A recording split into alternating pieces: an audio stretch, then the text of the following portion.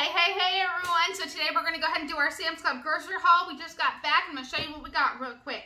So starting over here, we got uh, 10 pounds of hamburger meat, some sausage, we got some steaks, cheese, ballpark franks, strawberries, coffee creamer, of course, almond milk, um, waffle french fries, and then turkey for sandwiches, Nutri-Grain bars, a bigger thing of apples, burgers, eggs, bananas, uh, my favorite little mini packs of hummus, some butter, bananas, sliced cheese, two things of everything but the bagel seasoning bagels, or no, everything bagels, fabric softener, laundry soap, bell pepper, super cute uh, Easter cookie thing that was on clearance. We're going to do these today. Caesar salad, broccoli florets.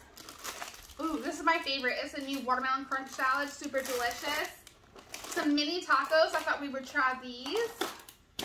French, or is this French bread? Yeah, French bread for spaghetti night.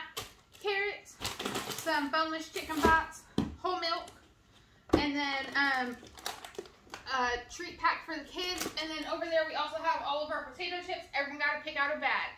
So all of this in total cost me just at $300 and it was so much fun to get. So if you do like this video, give it a thumbs up.